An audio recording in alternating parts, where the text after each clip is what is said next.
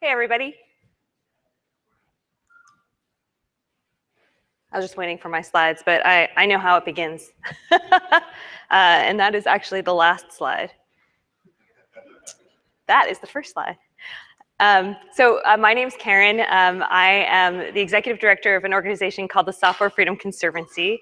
Um, I've been very involved with the GNOME Foundation. Uh, I am a lawyer, which sometimes when I confess, I feel like I have to hide behind the podium lest you throw rotten things at me. Uh, but I only do pro bono legal uh, advice now, and I do that for the Free Software Foundation and GNOME and a number of other uh, free software related organizations. Uh, I'm a free and open source software enthusiast, and I'm also a patient, and I'm going to talk a little bit about that so you get an idea of who I am. Um, and these are my Twitter handle uh, and Conservancy's Twitter handle. So I know if you're focused on your device that you're totally tweeting how awesome this is and I keep it up. Um, so as I said, I'm a, I'm a patient. I have a literally three times the size of a normal person's heart. Uh, it's called hypertrophic cardiomyopathy. And my heart is really thick. Um, and uh, it's totally fine. I'm asymptomatic. Um, as you can see, I, I'm not really held back so much. Um, and uh, the only real problem is that I have an extremely high risk of suddenly dying. It's like two to 3% per year, um, compounding. And I was diagnosed at age 30. So the, the prognosis over the 10 years was, was really not so good. And so my doctor, um, you know, I went to all these cardiologists and electrophysiologists. They say, oh, well, not a problem because uh, you can get a pacemaker defibrillator, and then if you go into the medical term is sudden death. if you go into sudden death, not to worry, the device will shock you. It's like people following you around with paddles clear and shocking you, and, and you'll be fine. And my first question was, what does it run? To which the cardiologist was like, run? And, and the cardiologist had never really understood that there was software on the devices that he was implanting. And this guy implanted sometimes multiple devices per day. He implanted thousands upon thousands of these devices in the course of his career, and they just hadn't thought about the software uh, on it. I, at the time, was a lawyer working on software freedom, and so and I'd been a, a developer in college, and so for me this was like a natural point of inquiry. And I thought, well, no problem, because the medical device manufacturers will allow me, or certainly be understanding that I will want to review the code that's in my own body. Not so much as it turns out. Um, I even offered to sign an NDA, um, do whatever it took to be able to review the code, and I basically got nowhere. Um, after a lot of soul searching and delay, because no one wants to think about their own mortality, and thinking about whether or not to get this device was really stressful, so I would just kind of put it off. And um, I realized that I couldn't put it off anymore um, the risk of death was too high. So I decided to get the defibrillator and uh, become a cyborg lawyer, which is terrifying, isn't it? uh, so this is a picture of uh, Bill Gates as a as Borg, uh, if you don't know. So I, I, literally have proprietary software connected to my heart, which is crazy. The um, the really interesting thing about this experience is that when I started out, I thought open source was cool. I thought it was useful. I liked collaboration. But I didn't really think about the deeper ideological questions until my life depended on it in a very literal way, right? I didn't even, you know, and I was involved in the field. But at the same time, it didn't really hit home until that point. And then once you start once you start thinking about how your life relies on your pacemaker defibrillator, it's a very short walk to your car. You know, um, and, and all these, you know, your, your voting machines, your stock markets, and everybody here is, uh, is technical enough and smart enough that you all know how much our lives rely on software every day. And for me, this was, um, this made me passionate about software freedom. And in that time, there were various hacks that showed how these, um, you know, how these devices um, and products were vulnerable. I like this one. This is a, a, a, uh, a car hack which is really fun because as you can see, the, uh, the dial is at 140 miles per hour, but the car thinks it's in park. and then they changed the message that it says uh, pwned, which I thought was really funny. Um, the, the Software Engineering Institute estimates that there's one bug introduced for every 100 lines of code, um, which surprised me. I mean, I, we all know that there are lots of bugs in software, but that was higher than I had expected. Um, and uh, so I, you know, looking at the one in 100, you can sort of think, well, if the average premium class car has 100 million lines of code in it, well, one in 100, like around a million. So even if the vast majority of bugs are caught, it's a lot of bugs.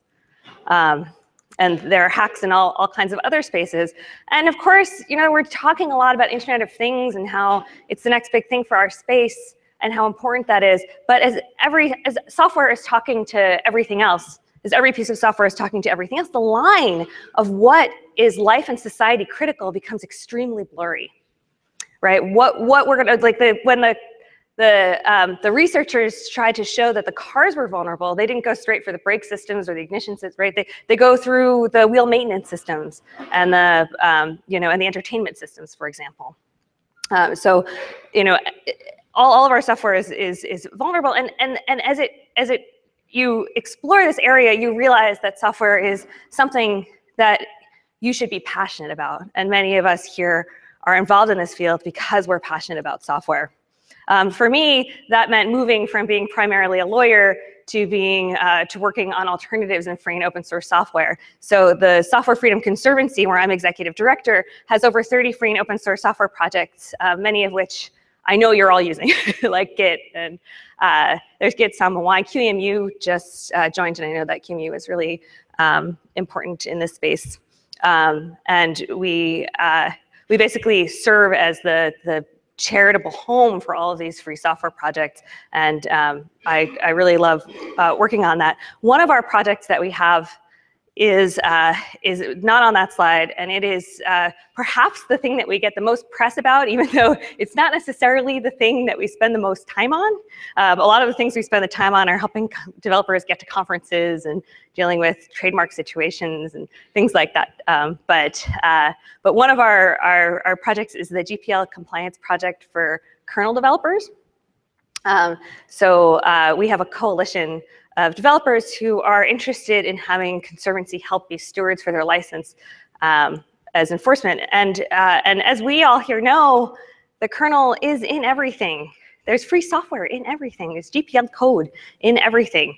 Um, and yet, uh, and yet perhaps we have less freedom than ever before because our freedom is at lower levels and a lot of the software gets wrapped in proprietary code. And I actually am seeing a ton of nodding here. I mean, this is the, the, the message that we've been getting where as a, as a charitable nonprofit, we serve the community um, and we're, we're focused on, um, on, on answering. So, so, so what we do is, uh, uh, is, is we answer these complaints about um, violations because companies have been sort of pushing the line as far as they can and pushing their compliance out um, and uh, it's our job to sort of knock on the door and say, hey, so we got a report that you're not in compliance. You know, let's talk about it. What, what, what can we do about it? Um, and it's, it's interesting because there are there's so much money saved by using free and open source software. Um, it's why so many of you are here. It's so valuable and important, and the kernel in particular is so valuable and important. Um, and yet, um, freedom has become much more precarious. This is a, a, a really fascinating security uh, study that I read. It's called the honeymoon effect. Um, has anybody here heard of the honeymoon effect before? Wow, okay, no one. Great, I'm here to tell you about the honeymoon effect. the, the honeymoon effect is this really interesting, it's not about drinks on the beach, although I wish it were. Um, it basically looked at the number of bugs over time in a piece of software, which that curve is as you would expect. Generally, the number of bugs in a piece of software decreases over time. Uh, there's a little uptick at the end. Um, but what the honeymoon effect was is they studied that against vulnerabilities, known vulnerabilities. And what they found was completely different. What they found was that the number of vulnerabilities at the beginning is flat, it's zero, for various reasons that they posit are social reasons and other reasons. So for some period of time, call, they call it the honeymoon period.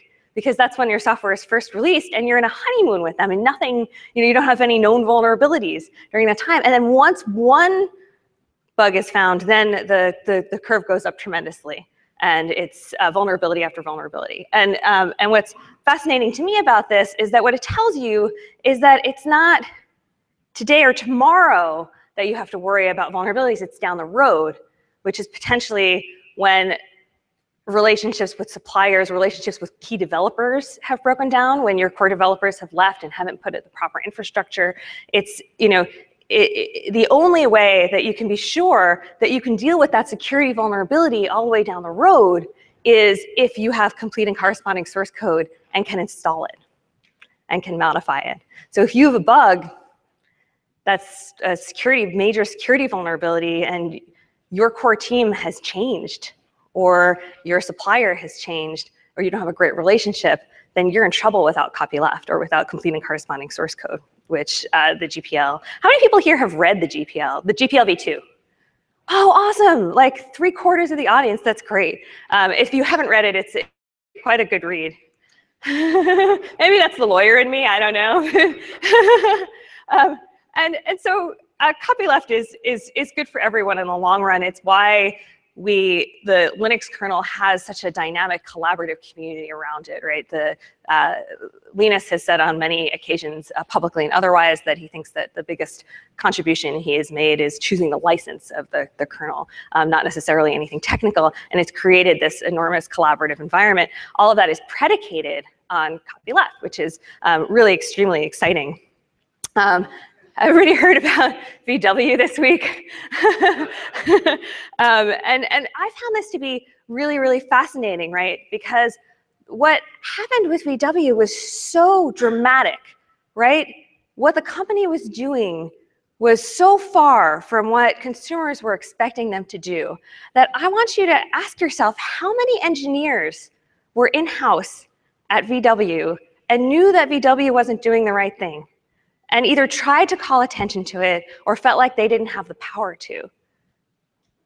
And at the end of the day, not doing the right thing not only has security implications, like I was talking about before, where our cars and our defibrillators have already shown to be vulnerable. All of our software is potentially vulnerable. Everybody here knows that. Anyone who's a hacker knows that.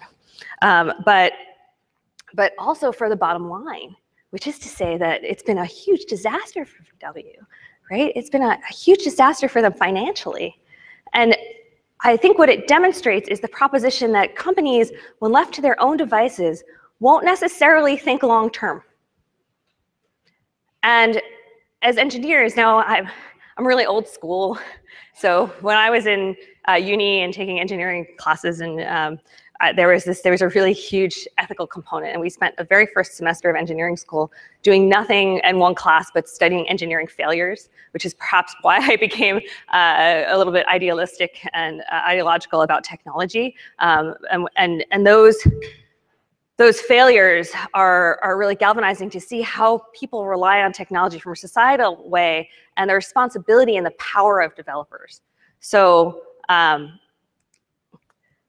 what we've done to respond to this is uh, Conservancy established the GPL compliance project for kernel developers where kernel developers could join because developers are not necessarily the personality types to want to stick their neck out and say, this is a real problem and I demand that you do the right thing. For one thing, it can be really hard on employment um, a lot of companies don't want to employ developers who, or say they don't, but I think that's actually starting to change, who are outwardly ideological about their software. So we made this coalition such that kernel developers can join in an anonymous way and join the coalition. And then we represent them and help companies come into compliance in, in, a, in a friendly and, uh, and coordinated way. So we represent a lot of developers. Companies are not getting knocks on the door from all these different people we are one voice, we're coordinating, and we have um, you know, the knowledge and the principled way of approaching the situation that can, um, can really help. And uh, just a couple of weeks ago, we announced that Conservancy also uh, has uh, answered the Debian community and has launched a Debian copyright aggregation project. So Debian actually asked Conservancy to hold copyrights, um, and now some kernel developers have taken advantage of that as well. So Conservancy is now a copyright holder in the kernel um, too.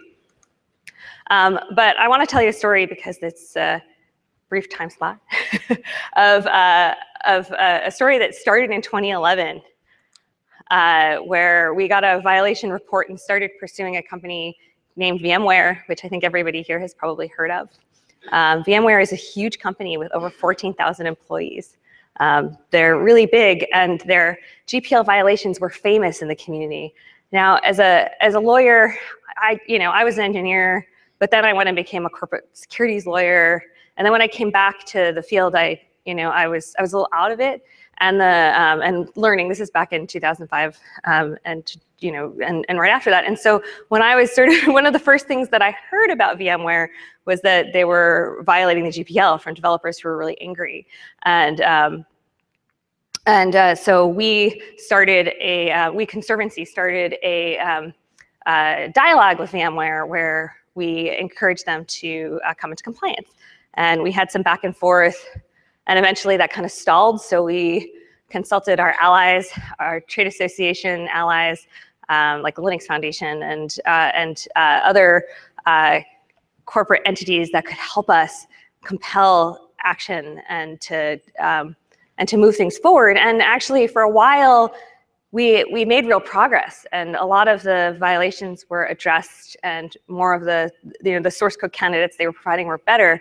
But we reached a point where they just weren't providing any more. And, uh, and no matter how we went back and forth. And so uh, we started in 2011. And in 2014, finally, we got to the point where we felt like we really couldn't compel any more action. Now, this is it's for anyone who has dealt with any legal action um, knows that this is incredibly slow escalation because from our perspective, we're a community organization, right? We don't want to be threatening. We don't want people to feel bad about compliance. We want people, we want companies to feel very good about using the Linux kernel, about using BusyBox, about using free and open source software. We want to encourage adoption. We don't want to scare people away. So we move slow and we, we, we, we're, we're probably too nice and, uh, and we, we, we ask for, for, for, for them to do the right thing. And eventually in 2014, all those years later, we realized that um, they, they, they said that was it. They were not going to do anything else. They said they actually said that they believed they were in compliance. Um, and, uh, and at that point, almost all of our coalition had been anonymous. Um, and Christoph Hellwig uh, is a developer who, uh, who decided to become public with his participation in the coalition. And um, I'm, I'm sure many of you know him. Uh, these stats are actually a little bit old. I think his, uh, his ranking is a little bit higher in the 4.0 uh, cycle, but he's a, a, a, pretty consistent contributor to the Linux kernel. And so we, uh, he, he wound up, uh, we briefed him and he wound up um, pursuing the case um, in, in Germany and he's motivated because he's an ideological kernel developer and he cares. He, but he's also a, you know, a, a business person and not having the collaborative environment that the GPL promises hurts not only his business interests, but the business interests of the industry as a whole. So uh, the, the, there's, um, I can't, the, the, so the, we brought, uh, this is a technical situation of the, uh, of the case where, um, uh, where VMware is using code from the kernel um, under V2 and distributes the, uh, the kernel modules together with proprietary components. Um, and I think the most interesting thing uh, in the, uh, or one of the most interesting things in the technical situation is that, uh, is that VMware adopted the uh, proprietary parts and the GPL parts uh, to optimize them, make them work together. Um, I, uh, we have an FAQ on the Conservancy's website that goes into as much detail as we as we possibly can, uh, because uh, all this happens in uh, is, was happening in Germany, and Germany has very different rules than the U.S. on bringing lawsuits. Which, uh, as a U.S. lawyer, and I was embarrassed to be so U.S. centric, but as a U.S. lawyer, I was shocked. You you normally have um, in in in U.S. cases, you expect uh, you, you expect for court documents to be made public, but in Germany, it's a very privacy uh, focused system, which makes a lot of sense in a lot of ways. Uh, but we're very limited in what we can talk about. Um, but we basically published as much as we possibly could. And it's Christoph who is bringing the suit, not Conservancy. So uh, we talk a little bit about what we found on our own, which is separate from the case. Uh, but we also have information on there so that you can check out the code yourself and determine what you think. Um, and eventually, after a lot of back and forth, uh, VMware wanted Christoph to sign an NDA just to look at a settlement offer, not even to sign a settlement offer. Um, and we all realized that there was a limit to these discussions and how productive they could be. It was we had done everything possible short of litigation. And so Christoph filed a lawsuit in, uh, in Germany and Conservancy funded uh, that lawsuit. And so it's ongoing now, and uh, it's. Uh, I, I, wish I could say more, but as I said, the the, the rules in Germany are such that uh, that I we need VMware to agree. So, so contact VMware and ask them for us to be able to say more. Um, but as far as I know, this is the first case on derivative works right? This is the first case that tests the question of that part of the GPL, which is essential to the choice of the GPL and essential to how we've been functioning as an ecosystem and how we expect the license to function.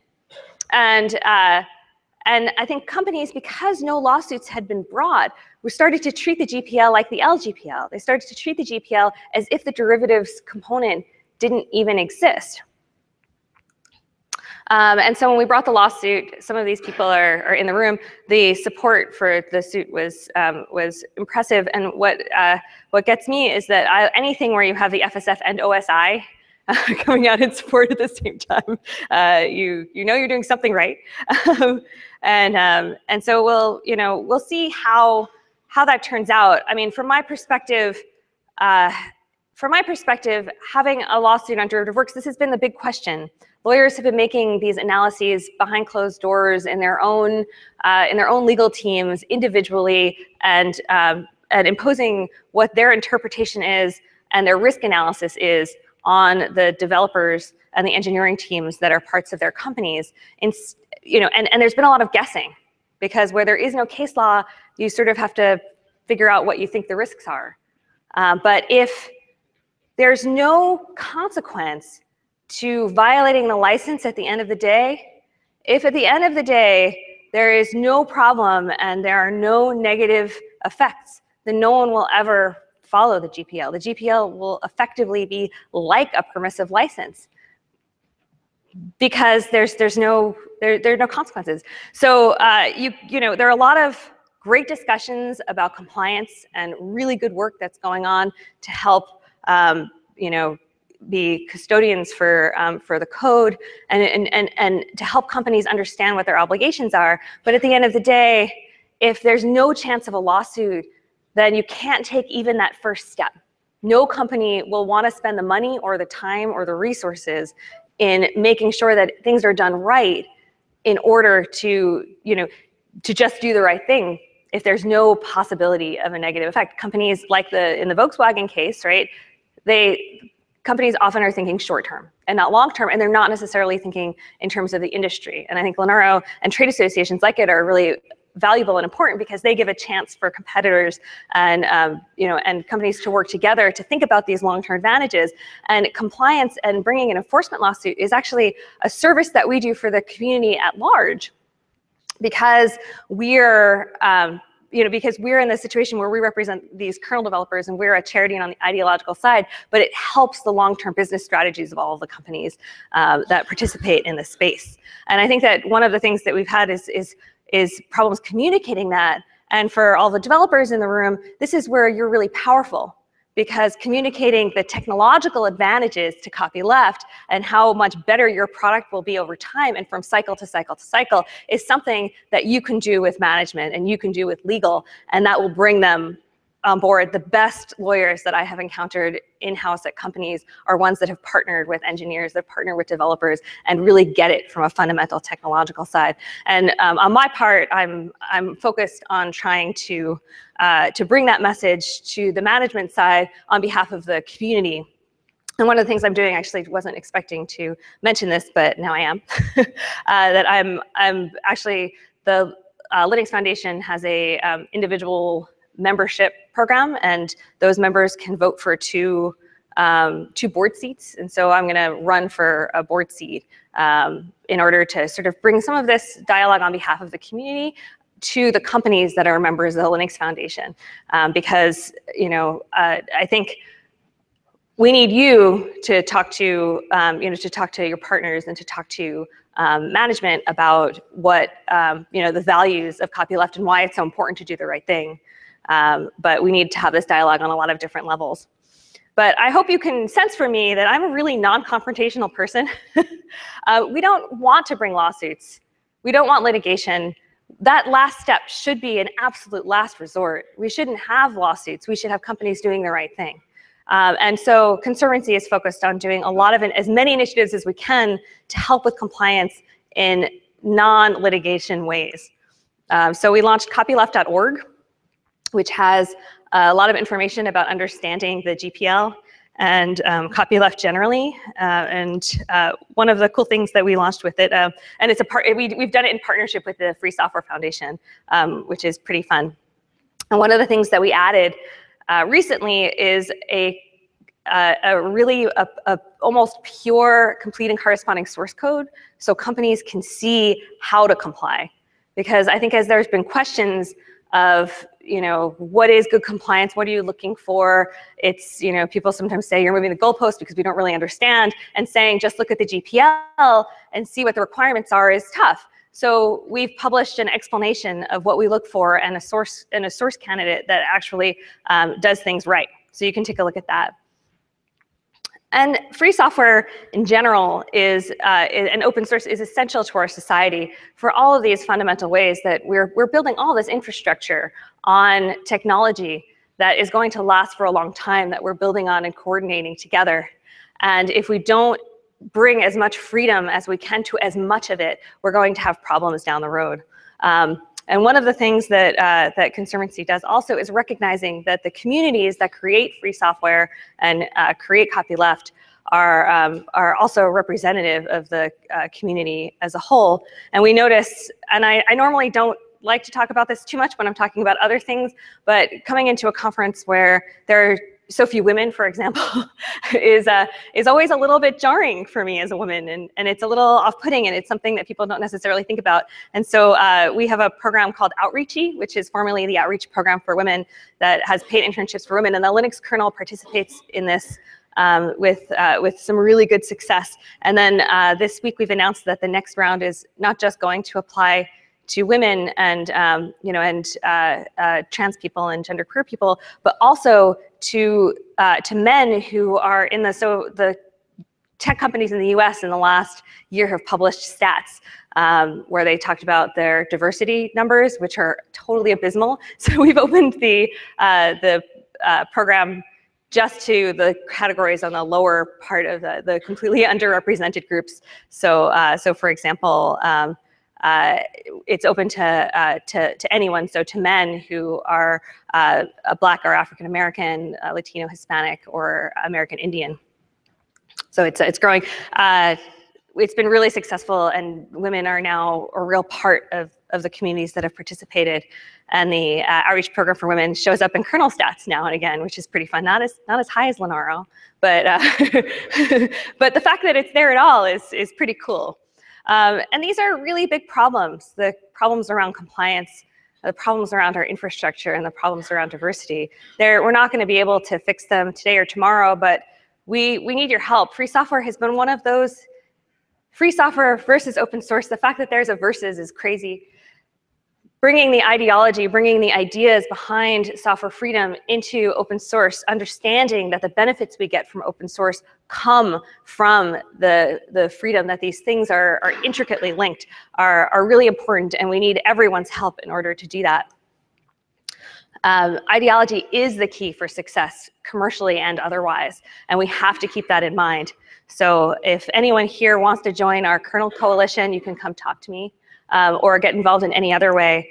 And I'll leave you with this, which is that 3 million people in the world have pacemakers, and every year 600,000 are implanted.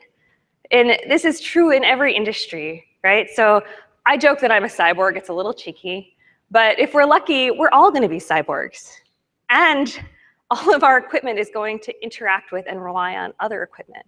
And so, you know, I don't want to be too dramatic while I stand here and say, think of the children, but, but, uh, but think of the children and think of, think of yourselves as we age. It's, uh, it's choose software freedom, bring it to your profession for your future cyborg self. And uh, please become a member of the, the supporter of the Software Freedom Conservancy. We are a public charity and really appreciate your support. I want to touch over. Does anybody, can we, do we have time for questions or?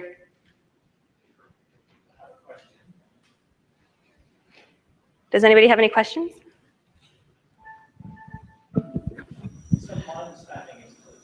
Oh. Uh, oh, oh, I'm calling. I thought. Yeah, thought the, I have a question. The microphone choosing was the asking. So is the objective of the Conservancy copyright grant that the Conservancy can raise lawsuits on behalf of a community of engineers, rather than having someone like Christopher have to raise the lawsuit himself? I'm so, sorry. What was the the question? Is the point of the Software Conservancy copyright? Oh, the point of the Software Freedom Conservancy is a charity around software freedom. We embody all of our free and open source software projects. So we enable uh, our, our member projects to do all kinds of things. And one of our, two of our member projects now ask us to do copyright stewardship for them. We have a lot of um, member projects who are not even copyleft, who are permissively licensed. And so they're not interested in enforcement at all. So one of the things that we do is that on behalf of the communities that want it, like the Linux kernel and the Debian community, uh, we, have, uh, we have that services that we provide. There are some questions over here, or? Oh, okay. There's a question right there. Um, when will Free as in Freedom be back on air? Free as in Freedom is an is an oddcast, as I call it, or podcast, uh, is an oddcast uh, that I record with uh, Bradley Kuhn, where we talk about legal and policy issues in free and open source software. And we have two episodes that have been recorded that will be coming out. And uh, and so we we talk about things like we go in more depth about things like the VMware lawsuit and things about things that Conservancy are doing, but also just things that are relevant in free and open source software. And you can check it out at faif.us, F-A-I-F for free as in freedom, dot US. There's one more over there, yeah. So what are the options to get consulted on some, some aspects of licenses and compliance?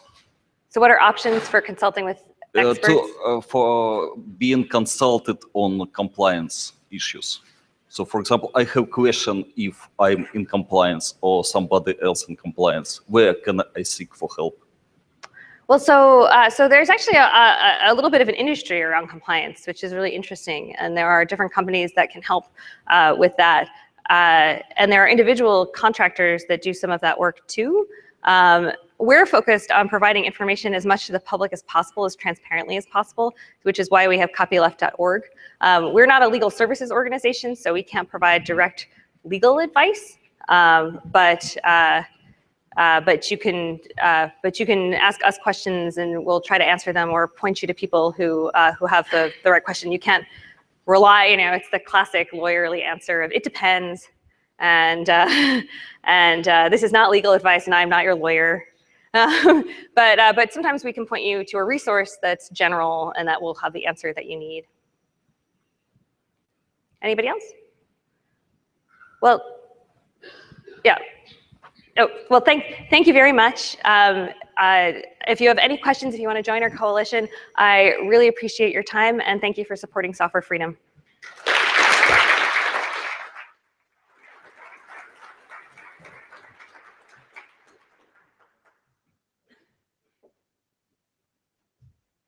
Yeah, thank you very, very much. That was uh, very interesting. Um, they are a very, very nice.